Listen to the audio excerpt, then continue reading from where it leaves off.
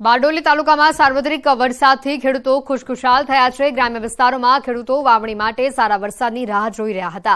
ત્યારે છેલ્લા બે દિવસથી મેઘરાજાએ હિત વરસાવતા ખેતરોમાં પાણીનો સંગ્રહ થયો છે. ભારે વરસાદના પગલે ખેતરો બેટમાં ફેરવાઈ ગયા છે. શેરડી સહિતના ખેતરોમાં પાણીનો ભરાવો થતાં ખેડૂતોમાં આનંદની લાગણી જોવા મળી રહી છે. શેરડી સાથે ડાંગરની વાવણી કરનાર માટે પણ આ વરસાદ સાનુકૂળ રહ્યાનું ખેડૂતો માની રહ્યા છે. જો કે શાકભાજી પકવતા ખેડૂતોને નુકસાન થયું છે.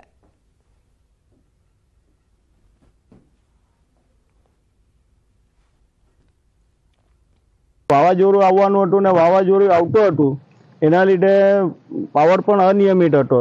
એટલે પૂરતા પ્રમાણમાં પાણી મળતું નહીં હતું. જે આ વરસાદથી ખૂબ જ સારો વરસાદ થયો છે એટલે પાકના માટે સારું છે.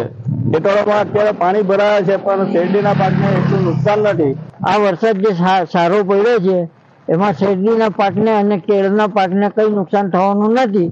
પણ જે શાકભાજી જે રોપે છે, એ એ પાકને નુકસાન થશે. પાણી ભરાઈને